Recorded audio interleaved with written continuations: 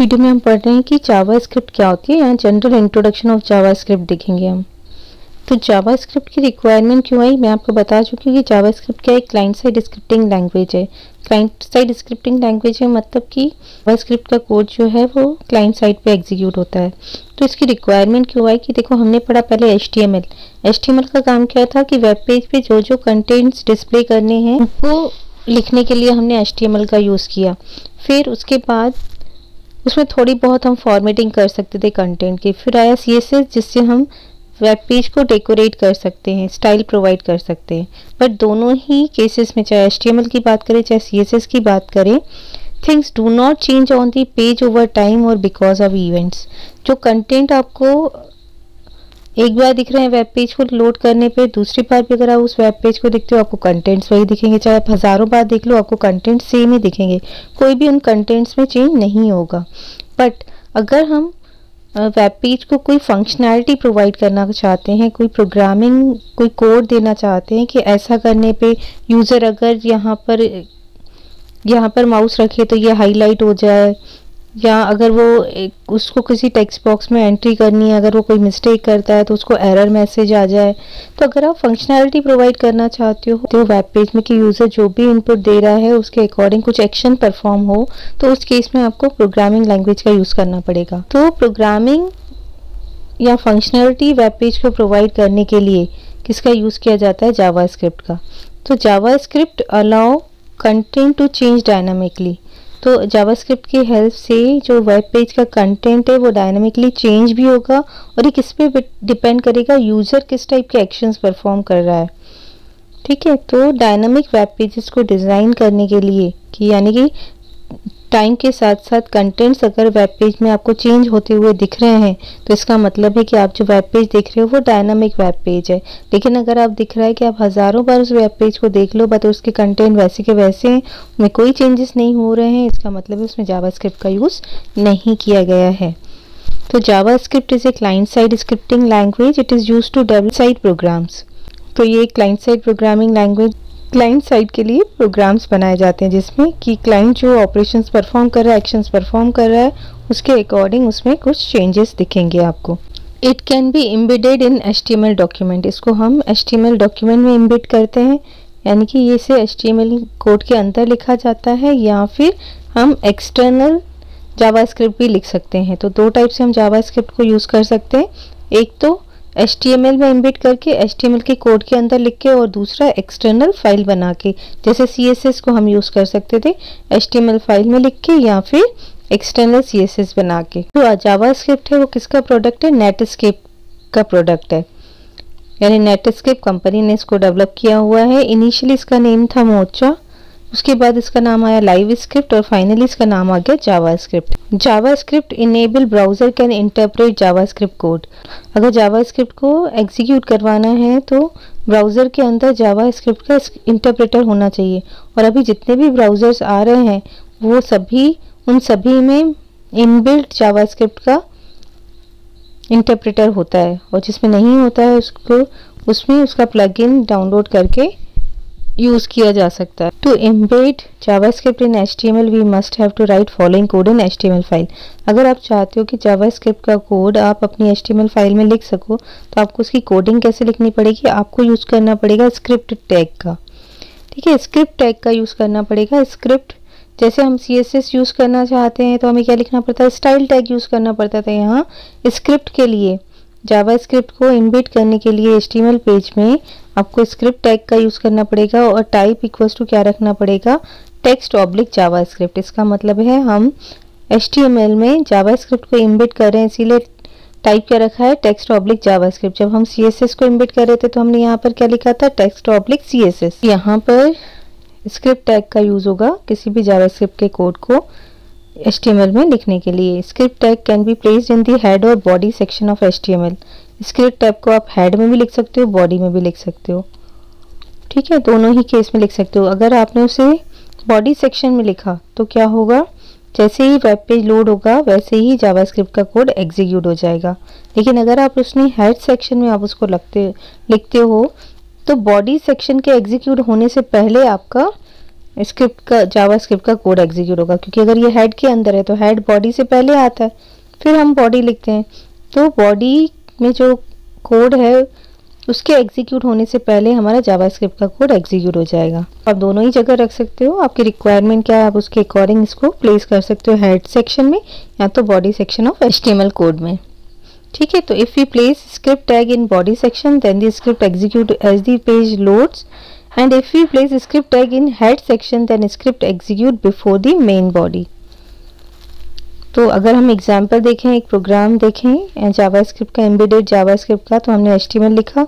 फिर body tag के अंदर हमने यहाँ पर स्क्रिप्ट टैग यूज़ किया है। हमने टाइप रखा है टेक्स्ट ऑब्लिक जावास्क्रिप्ट और डॉक्यूमेंट डॉट राइट हेलो यहाँ पर हमें वेब पेज पर वेब डॉक्यूमेंट पे कुछ भी अगर प्रिंट करवाना है जैसे हम सी प्लस प्लस में सी आउट का यूज़ करते थे सी में प्रिंट का यूज़ करते थे, यहाँ वेब पेज पे अगर आपको कुछ भी जावास्क्रिप्ट के थ्रू प्रिंट करवाना है तो आपको डॉक्यूमेंट डॉट राइट का यूज़ करना पड़ेगा। तो हमने डॉक्यूमेंट डॉट राइट लिखा है तो इसका मतलब है कि हेलो जो है, जैसे ही आपका वेब पेज लोड होगा, आपके वेब पेज पे क्या दिखेगा? हेलो लिखा हुआ। ये स्क्रिप्ट का क्लोज ये बॉडी टैग का क्लोज और ये एच का क्लोज तो इस टाइप से हम जावा स्क्रिप्ट को इम्बिट करते हैं एचटीएमएल के अंदर।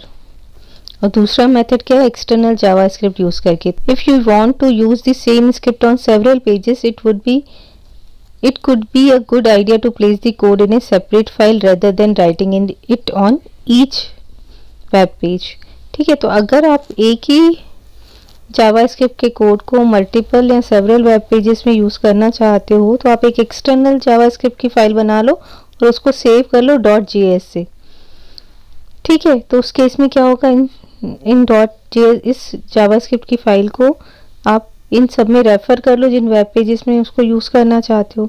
तो बेनिफिट बिल्कुल सी एस एस की तरह, जैसे हम external C S S use कर सकते हैं एक्सटर्नल सी एस एस बनाते हैं और उनको मल्टीपल वेब पेजेस में यूज़ करते हैं तो हमारा काम कम हो जाता है। तो यहाँ पर भी अगर एक ही जावास्क्रिप्ट के कोड को आपको मल्टीपल वेब पेजेस में यूज़ करना है तो आप एक्सटर्नल जे बना लो एक्सटर्नल फ़ाइल बना लो और उसको सेव कर दो डॉट जी एक्सटेंशन से और फिर उसको वेब पेजेस के अंदर यूज़ कर लो। तो it makes updation in only file if required तो अगर कोई भी अपडेशन करना होगा तो आपको एक ही फ़ाइल में अपडेट करना पड़ेगा, ना कि सारे वेब पेजेस में। तो to create external JavaScript write code in a separate file and save it with with the extension dot G तो अगर आप एक्सटर्नल जावास्क्रिप्ट बनाना चाहते हो तो आपको एक सेपरेट फ़ाइल बनानी पड़ेगी। और उसमें आपको जावास्क्रिप्ट का कोड लिख के उसको डॉट जी से सेव करना पड़ेगा। जैसे हमने लिखा X Y Z dot G और अगर फिर इस जावास्क्रिप्ट फ़ाइल को अगर आप एच में यूज़ करना चाहते हो तो आपको सेम वही स्क्रिप्ट टैग का यूज़ करना पड़ेगा। और type equals to text oblique JavaScript लिखना पड़ेगा बट ये ऑप्शनल होता है, क्योंकि बाय डिफ़ॉल्ट जावास्क्रिप्ट यूज़ हो रही है, यही मानता है ब्राउज़र जो स्क्रिप्टिंग लैंग्वेज यूज़ हो रही है, वो जावास्क्रिप्ट ही होगी, ये मानता है। तो आप लिखोगे तो भी करेक्ट नहीं लिखोगे तो भी कोई एरर नहीं आएगा। तो स्क्रिप्ट टैग में आप टाइप लिखोगे इन डबल कोर्स में टेक्स्ट ऑब्लिक जावा स्क्रिप्ट फिर सोर्स क्या होगा? X Y Z dot G S किस फ़ाइल को हम इसमें यूज़ करना चाहते हैं? X Y Z dot G S को। स्क्रिप्ट का क्लोजिंग आ जाएगा, फिर बॉडी टैग का क्लोज फिर एच का टैग का क्लोज यहाँ पर आप कितने भी स्क्रिप्ट टैग यूज़ कर सकते हो। ठीक है, आप जितने चाहो स्क्रिप्ट टैग यूज़ कर सकते हो। जैसे सीएसएस में क्या होता था, सिर्फ़ आप एक ही लिंक टैग यूज़ कर सकते थे किसी एक्सटर्नल सीएसएस को यूज़ करने के लिए। बट यहाँ पर आप मल्टीपल स्क्रिप्ट टैग का यूज़ कर सकते हो एच कोड के अंदर। नेक्स्ट यूजेस ऑफ़ जावास्क्रिप्ट क्या क्या है it is use for client side validation user जो रजिस्ट्रेशन फॉर्म या डिफरेंट टाइप के फॉर्म वेबसाइट पे वेब पेजेस पे फिल करता है अगर वो मिस्टेक करता है जैसे कोई मैंडेटरी फ़ील्ड थी, उसने नहीं फिल की तो उसको आ जाता है कि भाई, ये जो है आपको कंपलसरी इस फ़ील्ड में एंट्री करनी है इसको ब्लैंक नहीं रखना है। तो ये एरर मैसेज इस टाइप का शो करने के लिए फ़ील्ड में गलत एंट्री करिए फॉर्म के तो उसको एरर मैसेज आ जाए, उसका काम वो किसके थ्रू किया जाता है?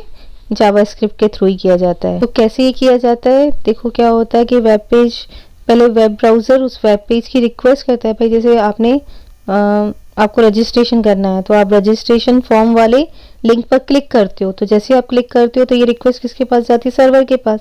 सर्वर क्या करता है? रजिस्ट्रेशन फॉर्म वाला वेब पेज रिस्पॉन्स में भेज देता है ब्राउज़र को। ठीक है उसका एच कोड भेज देता है। एच कोड ब्राउज़र क्या करता है? इस रजिस्ट्रेशन फॉर्म के अंदर क्या होती है? जावास्क्रिप्ट की कोडिंग भी होगी। ठीक है तो ये क्या करेगा? ब्राउज़र इस फॉर्म को डिस्प्ले कर देगा। यूज़र जो जो इनपुट्स करता जाएगा, अगर उसमें कोई मिस्टेक करता है तो जावा स्क्रिप्ट का कोड है। ब्राउज़र क्या करेगा? उस जावा स्क्रिप्ट कोड को इंटरप्रेटर को दे देगा। इंटरप्रेटर क्या करेगा? उसको मशीन कोड में कन्वर्ट करके देगा और ब्राउज़र उसको एग्जीक्यूट करेगा। तो अगर आपने कोई एरर किया होगा तो एरर मैसेज आपको डिस्प्ले हो जाएगा। ठीक है? फिर जब पूरा वैलिडेशन होता है कि आपने पूरी सारी फील्ड्स जो हैं सही एंटर की हैं, उसके बाद ही ब्राउज़र जो है इस वेब पेज को, इस फॉर्म को सबमिट करता है किसको? सर्वर को।